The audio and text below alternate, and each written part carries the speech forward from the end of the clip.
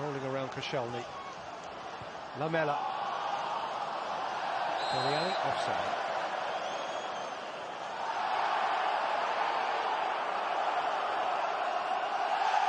And he let it roll in. He must have known for a little while that the uh,